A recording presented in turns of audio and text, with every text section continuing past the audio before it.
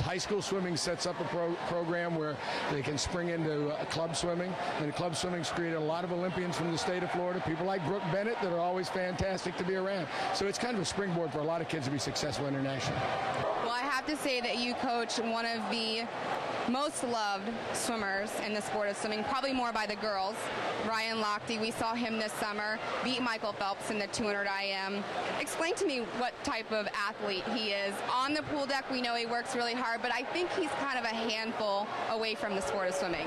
Well, they, I was interested. We just had Japanese TV in the interview, and uh, the interview and they asked for one word to describe him. You can't really describe him in one word. He's really unique. Um, he's very relaxed, easygoing, but extremely intense from a competitive standpoint. Has one of those rare mixes of a tremendous desire to be successful, likes to win, but hates losing. When we put those type of things together, you get really good athletes.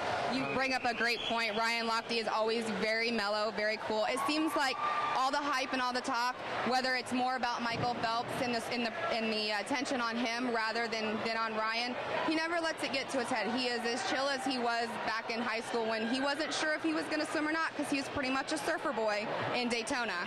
Without a doubt, and he's he enjoys his time away from the pool, has a lot of different interests, but real relaxed. And uh, you know, he's one of those guys that's a result of the Florida High School State meet. He was a state champion here, and he was good, but no one thought he was going to be exactly this good.